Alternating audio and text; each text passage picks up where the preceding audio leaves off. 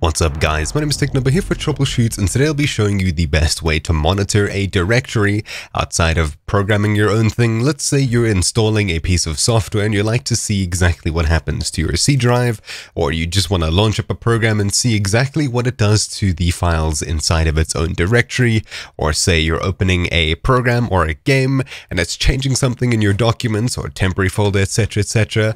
Basically you want to monitor for changes and see exactly what files were changed when? Well, it's not exactly the easiest thing to do, but there is a program that I've found that is actually pretty good at its job.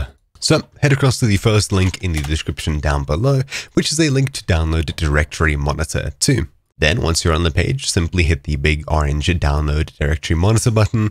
You won't need to purchase the pro version because that comes with features we won't exactly need here. We'll hit download installer, unless of course you want to download it for portable use. Then we'll wait for the download to finish and it should open up if we click run. Then we'll go accept, next, we'll make sure it's installing to the right place, next. I leave all of these ticked, even though you won't need most of them. You could probably go with the compact installation and that would be good enough. Then we'll go next, next, create, next, install. Then we'll go ahead and hit finish and make sure that the launch is checked. Then it'll start up like this. Then, now that we're here, all we're going to do is simply hit the add button up here, and we'll go ahead and hit the three dots next to directory to pick a place we want to monitor. So for example, I'll go to my desktop, and I'll make a new folder called temp. Going inside of it and hitting select folder. Then once we've done that, we're going to make sure that new files is checked, modifications, deletions, renames, and file access are all checked, and we'll make sure directories and files is also checked. Then we'll go ahead and hit save, We'll hit OK just to ignore that. And then we have this over here. So let's go ahead and open up the temp folder and let's simply add a file. So I'll add this wallpaper file into here and you'll see accessed and new.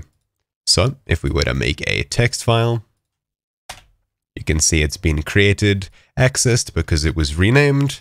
So let's go inside of it. Let's type out a little bit and hit save.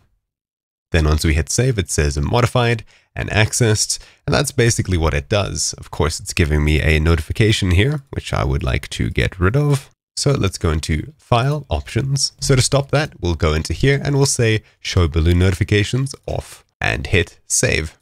Now if we were to edit the file, save it again, you won't see the pop-up, but it will be added to the list over here.